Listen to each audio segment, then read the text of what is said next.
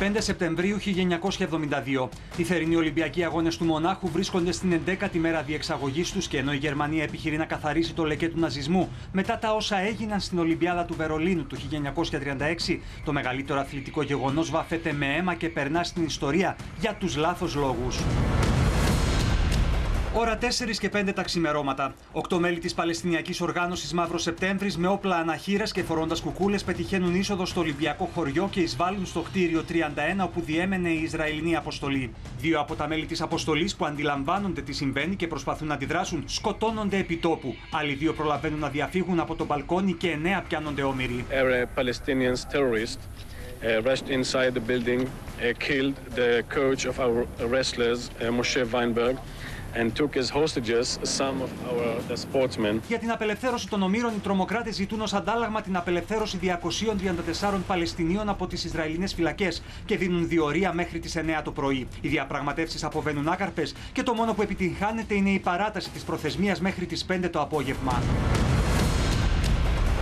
Στις 5 ακριβώς οι τρομοκράτες αντιλαμβάνονται ότι τα αιτήματά τους δεν γίνονται αποδεκτά και απαιτούν αεροπλάνο που θα μεταφέρει τους ίδιους και τους ομήρους στο Κάιρο. Οι γερμανικές αρχές δίνουν μια πρόχειρη επιχείρηση, αγνοώντας ότι οι δράστες έβλεπαν σε ζωντανή σύνδεση από τηλεοράσεως τις κινήσεις και τον σχεδιασμό της αστυνομίας. Το πλάνο αλλάζει και οι Γερμανοί καταρτίζουν σχέδιο παγίδα.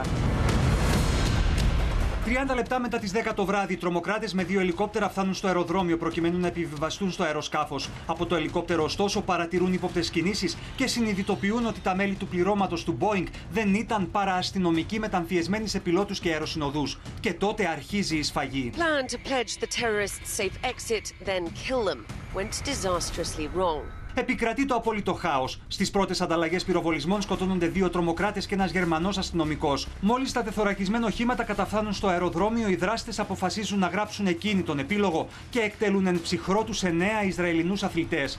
Τρεις τρομοκράτες πέφτουν νεκροί και άλλοι τρεις συλλαμβάνονται. Συνολικός απολογισμός 17 θύματα.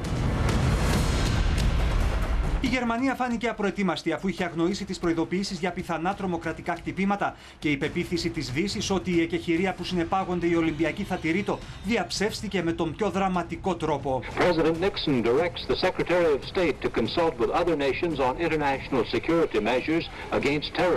Την επόμενη μέρα στο Ολυμπιακό στάδιο του Μονάχου με δάκρυα στα μάτια 80.000 πολίτες δίνουν το παρόν τους στην τελετή φοροτιμή στα θύματα. Οι αγώνες διακόπηκαν μόνο για 32 ώρες και με τις σημαίες να κυματίζουν με σύστιες αποφασίστηκε η συνέχισή τους. Όπως είπε τότε η Διεθνής Ολυμπιακή Επιτροπή, η ζωή δεν σταματά ποτέ.